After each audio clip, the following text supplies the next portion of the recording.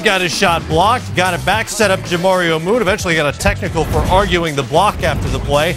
Check out Wade, who loves Jamario Moon, the addition to Jermaine O'Neal in that Toronto trade. Moon over Miami.